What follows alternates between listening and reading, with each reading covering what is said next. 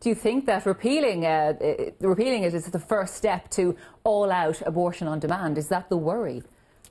I don't think that's the worry. I think that's the fact. And I mean, people who are part of the coalition to repeal the Eighth Amendment, I mean, spokespeople and conveners have all come out in the past week or two and said that this is what we want. This is what we're campaigning for. We want abortion on request. And as Emer just put it, they think it's a fundamental human right for a woman to be able to decide, to decide, sorry.